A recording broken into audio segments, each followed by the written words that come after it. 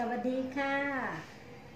ปัจจัยที่ทำให้มนุษย์อยู่รอด และปัจจัยที่ทำให้ปีศาจโจมตี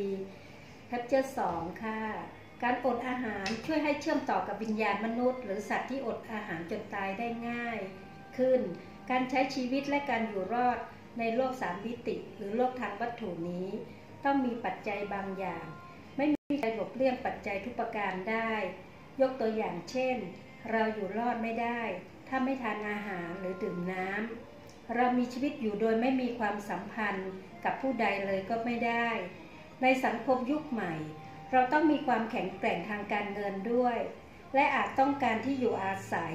ไม่ว่าจะเป็นบ้านคอนโดมิเนียม หรืออพาร์ตเมนต์นอกจากนี้เรายังต้องการสภาพแวดล้อมที่เอื้อต่อการทำงานอย่างต่อเนื่อง และต้องรักษาร่างกายให้มีสุขภาพดี ป้องกันอาการเจ็บป่วย และความไม่สมประกอบที่จะขัดขวางไม่ให้เราทำงาน เราจะอยู่รอดได้อย่างดีที่สุด ก็ต่อเมื่อชีวิตของเรามีปัจจัยบางอย่างรองรับ แต่ปัจจัยบางอย่างที่ทำให้เรามีชีวิตอยู่ และอยู่รอดได้ในโลกนี้ ทับซ้อนกัน และไม่สามารถแยกออกจากปัจจัยที่ทำให้ปีศาจโจมตีได้ ยกตัวอย่างเช่น การฝึกปฏิบัติทางศาสนาในบางครั้งก็มีการอดอาหาร แต่ในความจริงแล้ว การที่คนอดอาหารนาน เป็นสัปดาห์จะอัญเชิญวิญญาณชั้นสูง เชื่อมต่อและสนทนากับพวกเขานั้นทำได้ยากมาก คนที่อยู่ในสภาวะเช่นนั้น คงคิดกังวลกับอาหาร พวกเขาจึงน่าจะดึงดูดวิญญาณที่มีภาวะจิตใจใกล้เคียงกันเสียมากกว่า สัตว์มากมายมีภาวะจิตใจเช่นนั้น บนภูเขาและในป่าลึก มีสัตว์ป่าจำนวนมากที่อดอาหารจนตาย ในช่วงฤดูหนาวอันโหดร้าย ซึ่งมีอาหารเพียงเล็กน้อย พวกมันรู้สึกกลัวที่จะต้องตายาจากการขาดอาหาร ดังนั้นจิตใจของผู้ที่ฝึกปฏิบัติโดยการอดอาหาร อาจจะเชื่อมโยงกับวิญญาณของสัตว์เหล่านั้น มีวิญญาณของมนุษย์ต้องทนทุกข์จากสถานการณ์เดียวกันนี้ด้วย ยกตัวอย่างเช่น คนจำนวนมากที่เสียชีวิตในช่วงสงคราม เพราะยังคงต่อสู้แม้ว่าจะขาดแคลนอาหารอย่างหนัก ความทุกข์ประเภทนี้ลบเลือนได้ยาก แน่นอนว่าความทุกข์ระดับนี้จะคงอยู่ไม่นานสำหรับคนที่รู้เรื่องโลกแห่งสัจธรรมอยู่บ้าง และยอมรับการตายของตัวเอง แต่สำหรับวิญญาณของคนที่ยังไม่เข้าใจว่าตัวเองตายไปแล้วจะยังคงทุกข์ทน และจะเข้าหาผู้ที่ฝึกฝนตนโดยการอดอาหาร โดยเฉพาะผู้ที่บำเพ็ญตนอย่างเคร่งครัด ซึ่งปลีกตัวเองไปอยู่บนภูเขา และเดินจงกรมหรืออดอาหาร จะมีวิญญาณของผู้ที่เสียชีวิต ในขณะที่ฝึกตนประเภทเดียวกันนี้ มาหาได้โดยง่าย ในช่วงแรกพวกเขาจะรู้สึกเหมือนกับได้ยินเสียงของพระเจ้า พระพุทธะให้โพธิสัตว์ หรือตถาคต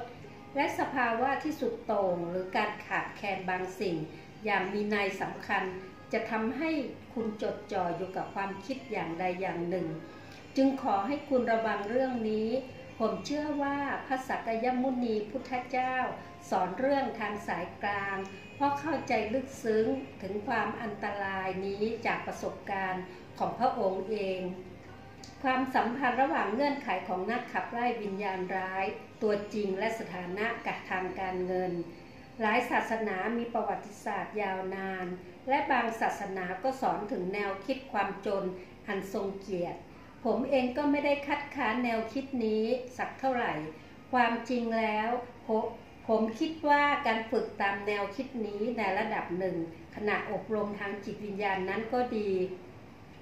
ในปัจจุบันหลายคนยกประเด็นความไม่เท่าเทียมกันทางเศรษฐกิจ และความยากจน เมื่อมองจากความเป็นจริง เราอาจกล่าวได้ว่าคนที่เคยประสบกับภาวะยากจนอย่างสุดโต่งและขาดแคลนสิ่งของเครื่องใช้หรือเงินในขณะที่ยังเด็ก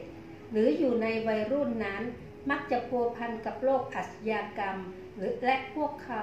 มักจะอิจฉาคนที่ร่ำรวยอีกด้วย ดังนั้นการพยายามสร้างความมั่นคงทางเศรษฐกิจ ให้ได้ระดับหนึ่งจึงสำคัญ ความขาดแคลนทำให้การกระทำทุกอย่างกลายเป็นชอบธรรม แม้มันจะเป็นอาชญากรรมก็ตาม ในเมืองใหญ่ เช่นโตเกียว มีสิ่งต่างๆ อุดมสมบูรณ์ หากคุณเดินไปในเมืองไทย ไม่มีเงินติดตัวหรือหิวโหย คุณก็อาจคิดว่าการลักเล็กขโมยน้อย จากคนที่มีเหลือกินเหลือใช้ คงไม่เป็นปัญหา พอเข้าใจได้ว่า บางคนคงรู้สึกแบบนั้น มีภาพยนตร์หรือละครทีวีที่เห็นว่าการทำแบบนั้นถูกต้องด้วย เรื่องนี้เป็นประเด็นยาก แต่เราต้องรู้ว่าการกระทำแบบนั้นไม่ได้สอดคล้องกับสวรรค์เลย ในทางกลับกัน คนที่มีชีวิตโดยมีเงินล้นเหลือและประสบความสำเร็จ เพราะมีพ่อแม่ร่ำรวย เกิดในตระกูลของเจ้าของที่ดินหรือเครือธุรกิจขนาดใหญ่นั้น อาจคดโกงได้ง่าย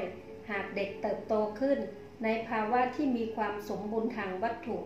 พวกเขาอาจจะกลายเป็นคนคดโกง หากเติบโตในภาวะที่มีเงินล้นเหลือ พวกเขาอาจไม่เข้าใจว่าการทำงานหาเงินมีความหมายอย่างไร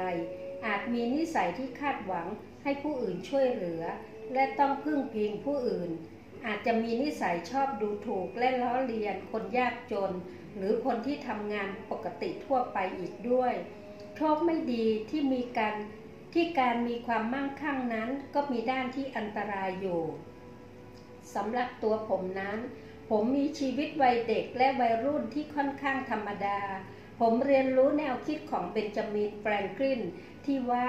เวลาคือเงิน และพยายามใช้เวลาอย่างมีประสิทธิภาพ เพื่อที่ผมจะเปลี่ยนเวลาให้เป็นเงินได้ ด้วยความพยายามแบบนี้ ผมจึงได้เรียนรู้ ความสำคัญของการหาเงิน พื่อใช้จ่ายในชีวิตประจำวัน การศึกษาและหนังสือที่ใช้เล่าเรียน แม้ผมจะใช้ชีวิตโดยมีความคิดแบบนี้ ผมก็ย้ายออกจากอพาร์ตเมนต์ห้องเช่าสตูดิโอขนาดประมาณ 10 ตารางเมตรได้เมื่ออายุ 30 ปี ผมมีพื้นที่จำกัดในการจัดเก็บหนังสือที่ผมซื้อ จึงทำให้ผมซื้อหนังสือได้จำนวนจำกัด เนื่องจากมีเงินและพื้นที่จำกัด ผมจึงคิดว่าต้องอ่านหนังสือทุกเล่มที่ซื้อขอใครค่ะ คนที่ซื้อหนังสือได้ตามเท่าที่ต้องการ คงมีสถานการณ์ที่แตกต่างออกไป ยกตัวอย่างเช่น คนที่ได้รับมรดกหลายล้านดอลลาร์จากการเสียชีวิตของพ่อแม่ คงสามารถซื้อคอนโดมิเนียม พื้นที่กว้างขวาง และซื้อหนังสือได้มากตามที่ต้องการ คนคนนั้นอาจมองว่าตัวเองเป็นปัญญาชนหรือเสแสร้งว่าเป็นเช่นนั้น โดยจัดเรียงหนังสือไว้บนชั้นแน่นอนว่ามีคนที่ประสบความสำเร็จทางการศึกษาได้อย่างรวดเร็วและเพราะร่ำรวย มีหลายกรณีที่ผู้คนกลายเป็นนักวิชาการได้เร็วกว่าคนอื่น เพราะมีคลังปัญญาที่สั่งสมมาจากรุ่นพ่อแม่และปู่ย่าตายาย ในฐานะครอบครัวนักวิชาการ บางครั้งความร่ำรวยก็ส่งผลเชิงบวกได้แบบนี้ แต่ก็มีคนที่กลายเป็นผู้ที่รู้เพียงผิวเผิน หรือพวกชอบเสแสร้งและโอ้อวดความรู้ของตัวเอง ไม่จำเป็นว่า สิ่งที่พวกเขาเรียนรู้จะทำให้พวกเขามีบุคลิกของผู้ทรงคุณธรรม หรือช่วยสร้างประโยชน์หรือพัฒนาสังคมได้ มันยากตรงนี้ เพราะทุกสิ่งล้วนมีทั้งด้านบวกและด้านลบ เราจึงต้องระมัดระวัง บางคนที่ประสบความขัดสนทางการเงินทุกวันขออภัยค่ะ อาจทนต่อความยากจน และพยายามก้าวหน้าทีละเล็กทีละน้อยราวกับกำลังบอกว่าสวรรค์เป็นพยาน หากคนเหล่านี้พยายามอย่างชัดเจน จนกระทั่งทุกคนยอมรับ มันก็คงเป็นไปได้ยากมาก ที่พวกเขาจะกลายเป็นเครื่องมือของปีศาจอย่างไรก็ตาม หากพวกเขาเก็บความไม่พอใจ ความอิจฉาความโกรธหรือนิสัยอาชญากรได้ขออ ภัยค่ะ ในขณะที่ลำบากอยู่นั้น พวกเขาอาจจะหันไปสู่อาชญากรรม หรือการกระทำผิดกฎหมายในวัยเด็ก หรือในวัยรุ่น มีหลายกรณีที่เด็กหรือเยาวชนผู้กระทำผิด รวมตัวกันเพื่อก่ออาชญากรรม เพื่อพิจารณาถึงความเป็นไปได้เหล่านี้ การมีความยากจนข้นแค้นเป็นระยะเวลานานจนถึงขั้นที่บิดเบือนธรรมชาติของมนุษย์นั้น ไม่ใช่ปัจจัยสนับสนุน ให้เป็นนักขับไล่วิญญาณที่แท้จริง ขอบคุณมากค่ะ จบแล้วค่ะ